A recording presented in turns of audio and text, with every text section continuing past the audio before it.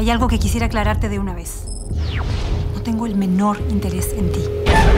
Ya no está dispuesta. Tú hablas con Nicolás y toda la verdad saldrá a la luz. Olvídate de tu falsa identidad.